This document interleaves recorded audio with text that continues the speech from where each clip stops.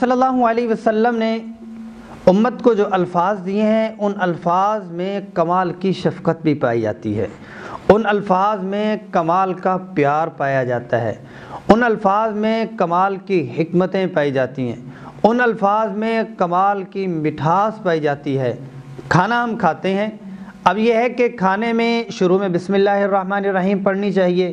اب جب بسم اللہ الرحمن الرحیم نہیں پڑھی تو کمال کا یہاں پر فرمایا کوئی بات نہیں، درمیان میں آخری لقمے میں بھی یاد آ جائے تو بسم اللہ اولہ و آخرہ پڑھ لو کہ میں اللہ کے نام شروع، حالانکہ شروع اس نے بعد میں اس کو یاد آیا ہے۔ کہ میں اللہ کا نام لیتا ہوں، اس کھانے کے شروع سے بھی اور آخر سے بھی دیکھیں کتنی کمال کی شفقت ہے آپ صلی اللہ علیہ وسلم کی۔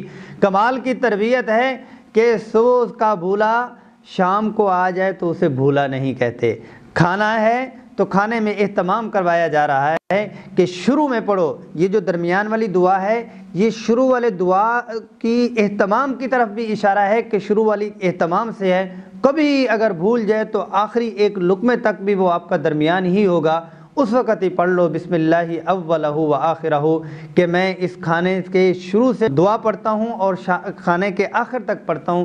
اس میں کھانے میں جتنے بھی کھانے کی چیزیں ہیں وہ ساری کی ساری ہی آ جاتی ہیں۔ ضروری نہیں ہے کہ کھانا ہمارا وہ مخصوص جو ہمارا بر صغیر میں ملتا ہے اور پاک پاک ہند میں ملتا ہے وہ جو بھی کھانے کی چیزیں ہیں، جس قسم کی فاسٹ فوڈ میں آتا ہے، دوسرا آتا ہے، اس میں صحت اور دوسری چیزیں تو مد نظر رکھنی ہی ہے آیا کہ ہمیں یہ اب ہمارے زبان کی لذت ہے، ہمیں صحت اور تقویت بھی چیز دے رہی، یہ نہیں دے رہی۔